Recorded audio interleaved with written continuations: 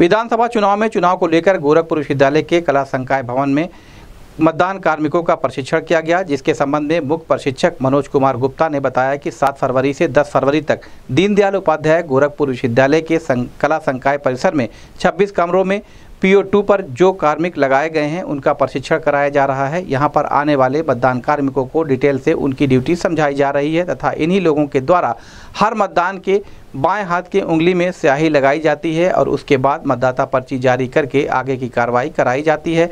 इस बारे में यहाँ प्रशिक्षण कराया जा रहा है। इस संबंध में गोरखपुर न्यूज़ से बात करते हुए मुख्य प्रशिक्षक मनोज कुमार गुप्ता ने कहा।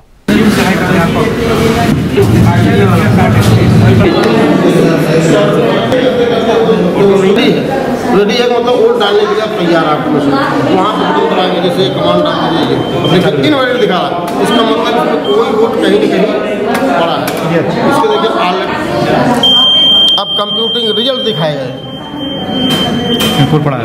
हाँ।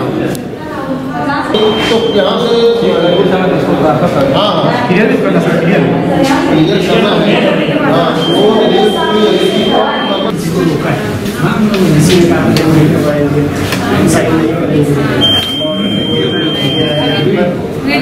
पहले दबे पहले दबेगा तब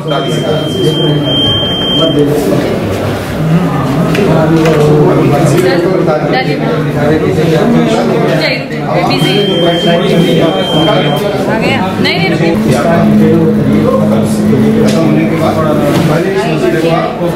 मेरा नंबर डालिए हाँ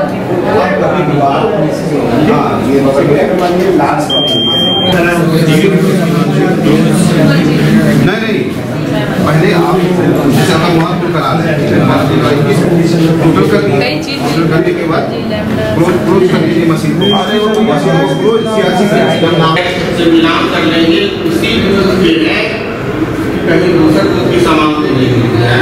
वो अगर उस दूध है जिस दूध पर आपकी नियुक्ति हुई है तो सामान ले लेंगे।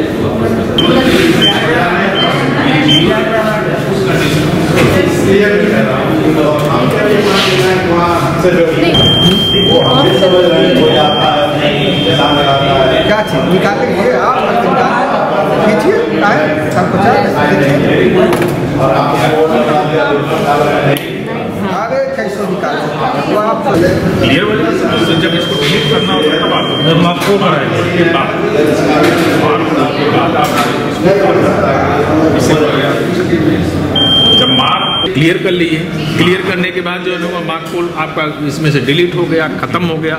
इसके बाद तुरंत इसको जो है कि यहाँ से इसको बंद करते हैं, इसको सील करते हैं। सील करने के बाद ये टोटल सील हो जाएगी। सील होने के बाद ये कंप्लीट हो जाएगी।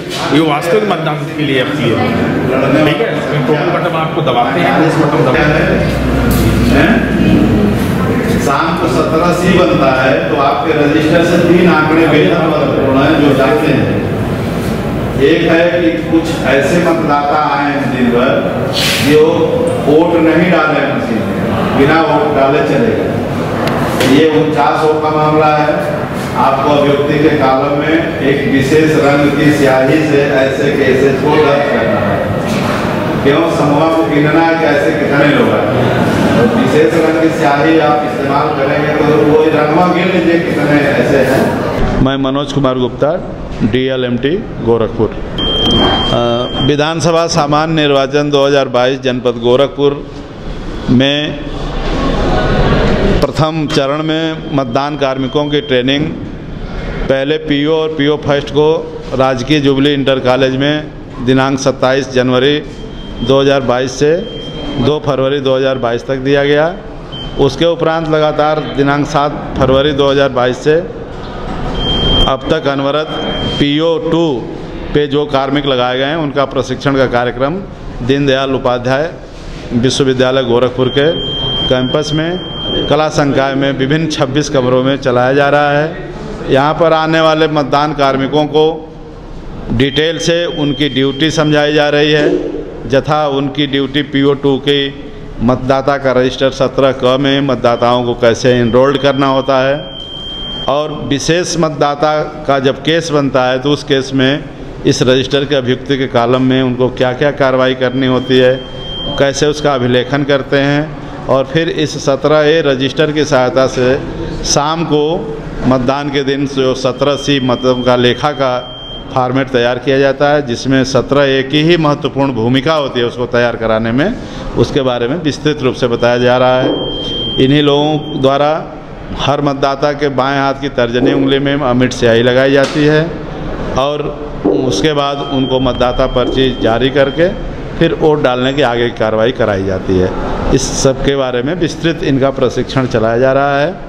हमारे जिला निर्वाचन अधिकारी महोदय के कुशल निर्देशन में ये सारी चीज़ें चल रही हैं और आगे भी और अभी दूसरे चक्र की जो ट्रेनिंग है, वो जो द्वितीय रेंडमाइजेशन कार्मिकों का हो जाता है, उसके उपरांत जब इनको लेटर जाता है, फिर आते हैं, तब दूसरा प्रशिक्षण शुरू होगा।